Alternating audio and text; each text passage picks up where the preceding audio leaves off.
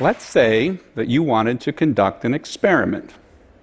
In this experiment, you randomly assign people to live in blasting zones or in control locations without explosives going off over their heads. They live in a community for years, just downwind and downstream from sites where tons of explosives are used almost daily and millions of gallons of water contaminated. With random assignment, you could carefully study the long term health effects of living in these blasting communities without a bunch of annoying confounders and covariates. Random assignment does wonders. That would be a rigorous, powerful scientific inquiry into the effects of these environmental exposures. Of course, such a study could never be done. Most scientists wouldn't have the stomach for it the Institutional Review Board would never approve it. It would never pass human subjects review because it would be unethical, immoral. And yet, in effect, it is happening right now. In my mind, this prompts some questions. What is the ethical obligation of the scientist who believes populations are in danger? How much evidence is enough to be confident of our conclusions? Where is the line between scientific certainty and the need to act. The unplanned experiment that is happening right now is called mountaintop removal. The abbreviation for it is MTR. It is a form of surface coal mining that takes place in Appalachia here in the United States. MTR occurs in four states Virginia, West Virginia, Kentucky, and Tennessee. Over 1.2 million acres have been mined in this way. This is an area about the size of Delaware, but it is spread over a footprint as large as Vermont and New Hampshire combined. The process involves clear cutting ancient Appalachian forests home to some of the richest biodiversity on the planet. The trees are typically burned or dumped into adjacent valleys. Then, to reach the buried coal seams, explosives are used to remove up to 800 feet of mountain elevation. Over 1,500 tons of explosives are used for coal mining in West Virginia alone every day. Rock and soil debris is dumped over the valley sides where it permanently buries headwater streams. So far, over 500 mountains have been destroyed. About 2,000 miles of streams have been permanently buried. Water emerging from the base of the valley fills is highly contaminated and remains contaminated for decades. The coal then has to be chemically treated, crushed and washed before it can be transported to power plants and burned. This cleaning takes place on site. The process produces more air pollution and contaminates billions of gallons of water with metals, sulfates, cleaning chemicals, and other impurities. All of this to produce 3% of U.S. electricity demand, only 3% of U.S. electricity demand. As you can appreciate, this prompts all sorts of other questions. What are the health impacts of mountaintop removal mining? There are over a million people who live in counties where MTR takes place, and millions more downstream and downwind. What has been the response of industry and government when these issues are documented? And again, what is the ethical obligation of science when faced with this disturbing situation? I began to research this issue in 2006. I had just taken a job at West Virginia University. Before then, I hadn't done any research related to coal. But I started to hear stories from people who lived in these mining communities. They said that the water they drank was not clean, that the air they breathed was polluted. They would tell me about their own illnesses or illnesses in their family. They were worried about how common cancer was in their neighborhoods. I met with many people in southern West Virginia and eastern Kentucky to listen to those stories and hear their concerns. I searched the scientific literature and was surprised to learn that nothing had been published on the public health effects of coal mining in the United States. Let me say that again. Nothing had been published on the public health effects of coal mining in the US.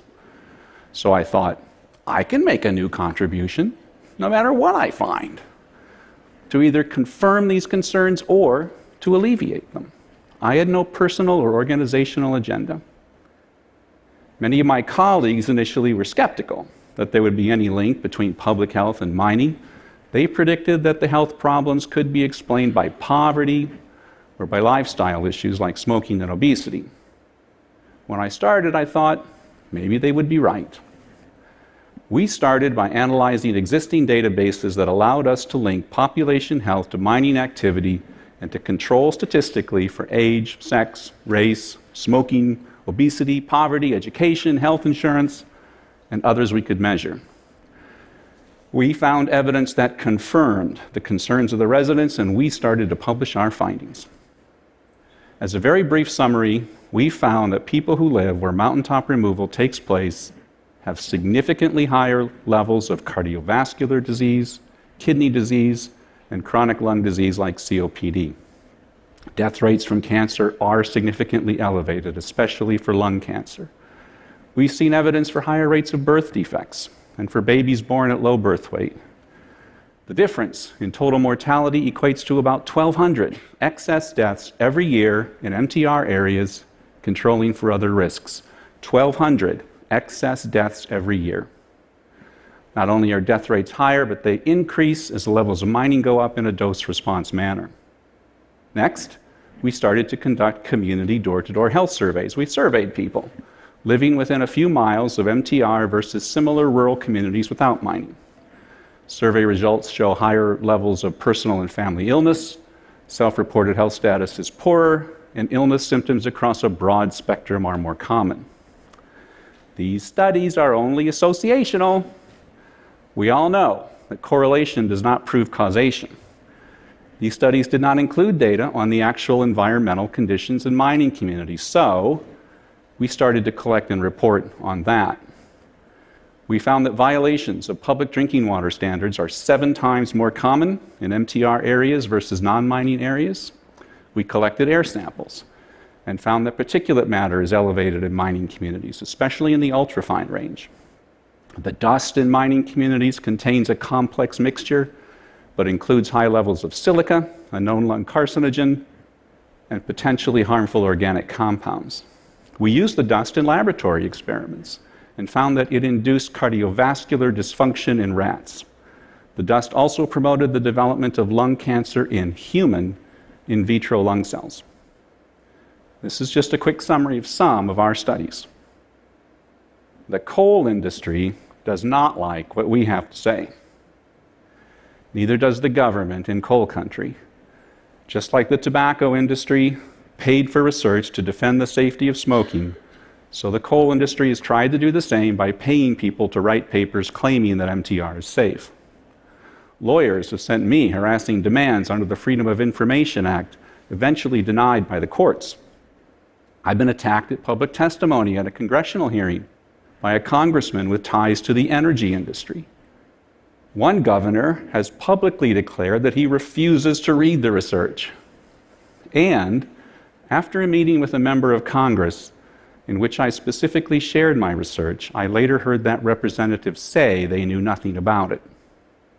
I worked with scientists at the U.S. Geological Survey on environmental sampling for more than two years and just as they were starting to publish their findings, they were suddenly instructed by their superiors to stop work on this project. In August of this year, the National Academies of Sciences was suddenly instructed by the federal government to stop their independent review of the public health consequences of surface mining. These actions are politically motivated, in my view.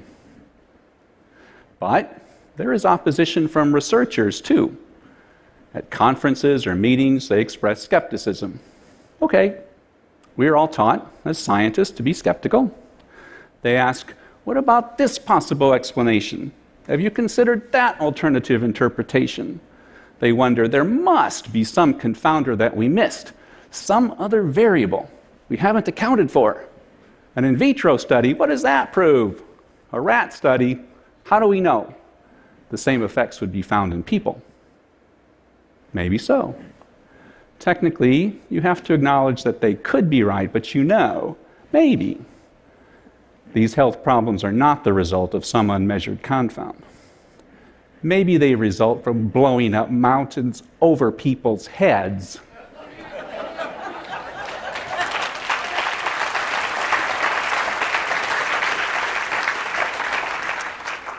There can always be doubt if doubt is what you seek, because we can never do that defining experiment. Any next study must always be associational. So perhaps you can understand why I've started to wonder how much evidence is enough? I've published over 30 papers on this topic so far. Along with my co authors, other researchers have added to the evidence, yet government doesn't want to listen, and the industry says it's only correlational. They say Appalachians have lifestyle issues, as though it had never occurred to us to control for smoking or obesity or poverty or education or health insurance. We controlled for all of those and more. There comes a point where we don't need more research, where we can't ask people to be unwilling research subjects so we can do the next study. As scientists, we follow the data wherever it goes, but sometimes data can only take us so far, and we have to decide, as thinking, feeling human beings, what it means and when it is time to act. I think that is true not only for MTR, but for other situations where evidence is strong and concerning but imperfect. And when failing to act, if you're wrong, means people's lives. It may seem strange that there is any controversy over the health effects of mountaintop removal mining, but somehow this subject has wound up in a scientific and political twilight zone alongside the debate over climate change or the argument years ago about whether or not smoking caused cancer. In this twilight zone, much of the data seems to point to one conclusion but the economics or the politics or the prevailing public view insists on the opposite conclusion. When you're a scientist and you think you have a valid insight where the health of entire populations is at stake, but you find yourself trapped in this twilight zone of denial and disbelief, what is your moral and ethical obligation? Obviously, scientists are responsible for telling the truth as they see it based on evidence. Simply stated, we have an obligation to stand up for the data. Can be extremely frustrating to wait around for public opinion or political consensus to catch up to the scientific understanding. But the more controversial the subject and the more frustrating the debate, the more critical it is for scientists to preserve our objectivity and our reputation for integrity, because integrity is the coin of the realm in scientific and public policy debate. In the long run, our reputation for integrity is the most powerful tool that we have, even more powerful than the data itself. Without an acknowledged integrity on the part of scientists, no amount of data will ever convince people to believe painful or difficult truths. But when we cultivate and guard our reputation for integrity, when we patiently stand up for the data and keep doing the studies and keep calmly bringing the results to the public, that's when we have our greatest impact eventually, scientific truth does and will win out. How many lives will be lost while we wait? Too many already. But prevail we will. Thank you.